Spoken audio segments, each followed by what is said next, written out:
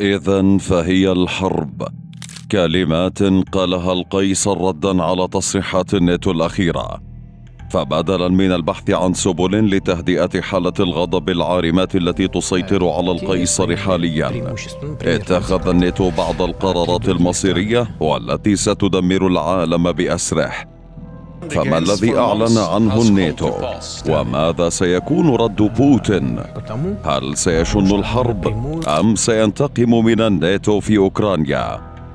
تساؤلات باتت مراكز صنع القرار في أمريكا تسألها ولكن ما من جواب فما الذي ينويه بوتين؟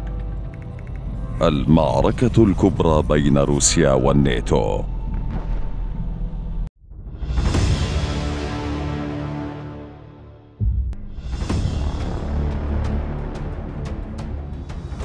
بعد أشهر من بداية الحرب الروسية في أوكرانيا وبعد التهديدات الروسية والأوروبية والأمريكية لبعضهم البعض إلا أن القيصر لم يتوانى عن تحذير الغرب من أن استمرار الدعم لأوكرانيا بمثابة صب الزيت على نار الروس وأن هذا الدعم لن يفيد أوكرانيا بل سيزيد من اشتعال نيران الحرب إلا أن أمريكا لم تنظر لهذه التحذيرات بعين الاعتبار. ولكن أوروبا نظرت لمصالحها الخاصة وفضلتها بعض الوقت على مصالح أوكرانيا. يبدو أن أمريكا حرضت أوروبا ودفعت الناتو أيضا للانتقام من بوتين. بوتين الذي تسبب بحربه في أوكرانيا في دمار الاقتصاد في كثير من دول أوروبا. حتى باتت أوروبا تتصور الغاز والطاقة من الدول في العالم. ما الذي جرى يا أوروبا؟ إلى هذا الحد وصل بك الأمر أن تتسولي الوقود والطاقة والغاز بعدما كانت أوروبا من الشعوب المنعمة في الأرض. نعم يا عزيزي هذا نتيجة استمرار دعمهم لأوكرانيا. بعث لهم القيصر برسائل مبطنة مفادها أن الحرب ووقفها رهن دعمكم لأوكرانيا. لكنهم صموا آذانهم عن الاستماع جيدا لتحذيرات وتهديدات بوتين. حتى باتت أوكرانيا تعلن اليوم أن بوتين ينوي السيطرة الكاملة على بلادها. يأتي ذلك في ظل توارد الأنباء عن تحريك القيصر لمعداته وصواريخه النووية إلى القرم وبيلاروسيا ما يعني أن الحرب العالمية الثالثة باتت مسألة وقت فقط. وما أعلن عنه حلف الناتو مؤخرا بمثابة استمرار الحرب بمثابة استفزاز الدب أكثر وأكثر. نعم يا عزيزي أعلن الأمين العام لحلف الشمال الأطلسي ينس ستولتنبرغ أن دولا غربية ستزود أوكرانيا بالمزيد من الأسلحة الثقيلة قريباً. وفيما تزداد الضغوط على ألمانيا بشأن تسليم أوكرانيا دبابات ليوبارد اثنين. قالت الشركة المصنعة إن الأمر قد يستغرق عاما. وأضاف ستوتنبرغ قبل اجتماع هذا الأسبوع في قاعدة رامشاين الجوية لمجموعة الاتصال للدفاع عن أوكرانيا التي تنسق إمدادات الأسلحة إلى كييف. قال إن التعهدات الأخيرة بتسليم أسلحة ثقيلة مهمة وتوقع المزيد في المستقبل القريب. وأكد أن فرنسا وألمانيا والولايات المتحده تعهدوا تزويد أوكرانيا آليات مدرعة لنقل المشاة أو للاستطلاع. هي أربعون مدرعة ألمانية من طراز ماردر وخمسين مدرعة أمريكية من طراز برادلي إلى جانب عدد من مدرعات ام إكس 10 الفرنسية في الأسبوع الماضي. كما تعهدت المملكة المتحدة إرسال 14 دبابة ثقيلة من طراز تشالنجر 2 إلى أوكرانيا في الأسابيع المقبلة. تصريحات نظر إليها المحللون حول العالم بأنه إذان بدخول الناتو في معترك الأحداث. بداية فصل جديد في الحرب في أوكرانيا. ولكن يبقى السؤال الأهم هل سيصمت الروس على هذا التدخل الكبير من الناتو في الحرب؟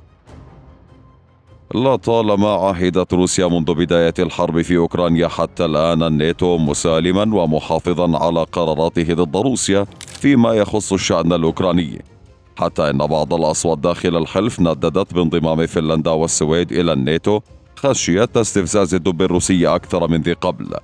إلا أن الناتو هذه المرة تجرأ وأعلن عن دخوله الحرب. نعم يا عزيزي.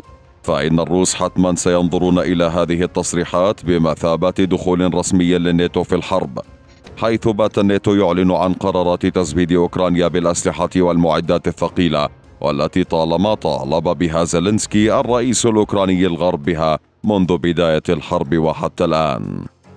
لم يعهد الروس الناتو غاضبا ومتخذا بعض القرارات التي ستؤدي إلى نتائج كارثية على أوروبا والغرب بأسره. فروسيا عهدت منه دعما لأوكرانيا بصورة خفية مخافه الدخول في صدام مع الدب الروسي إلا أن حادثة بولندا كانت أكبر دليل على الخوف الغربي من الصدام مع روسيا.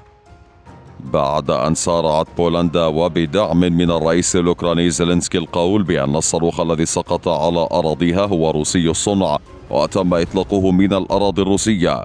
إلا أن روسيا لم تشر إلى هذا الأمر إلا بتصريحات من قبل المتحدث باسم الكرملين نافيا هذا الاتهام الأوروبي لروسيا. هذه الحادثة حاول زيلينسكي ومن ورائه أندري دودا رئيس الوزراء البولندي حاول استغلالها لإشراك الناتو في الحرب ضد روسيا حيث سارعت بولندا لإعلان حالة الطوارئ. كما سارعت لإعلان الفقرة الرابعة من ميثاق حلف الشمال الأطلسي والتي تنص على وجوب الوقوف إلى جوار أعضاء الحلف حال تعرض أحدهم لهجوم معاد. وعليه يستوجب هذا الحادث تدخل الناتو لحماية الأراضي البولندية. إلا أن القرار الأخير من أوروبا والناتو بأن هذا الصاروخ منشأه الأراضي الأوكرانية وأنه لم يتم إطلاقه من قبل روسيا في واقعة صورها الكثير من المحللين بالخوف الشديد من قبل الحلف من ضربات القيصر الموجعة في بدن أوكرانيا إلا أن الحلف تجرع الجرأة وأعلن عن حزم مساعدات ثقيلة للجيش الأوكراني. لكن القيصر استبق تلك الخطوة الأطلسية بحملة تعبئة عامة لنصف مليون جندي روسي حسب وكالات الأنباء الأوكرانية. كما بدأت القوات الروسية قتالا عنيفا في شرق أوكرانيا وتسعى جاهدة للسيطرة على مدينة باخموت الاستراتيجية بعد سيطرتهم على بلدة سوليدار. يأتي ذلك في ظل الاستعداد العسكري من قبل بيلاروسيا على الحدود مع أوكرانيا والذي فسرته أوكرانيا بأن زيارة بوتين لبيلاروسيا كانت بمثابة إعطاء لوكاشينكو الرئيس البيلاروسي إشارة البدء للتعاون العسكري الكبير. وذلك تمهيدا لشن القيصر هجوما موسعا على الأراضي الأوكرانية ووفق خبراء فإن قرارات الناتو الأخيرة بمثابة استفزاز للدب أكثر من ذي قبل ما يوجب على الناتو وضع خطط بديلة لإحلال السلام ومن ثم الجلوس لطاولة التفاوض بدلا من تأجيج الحرب أكثر فأكثر.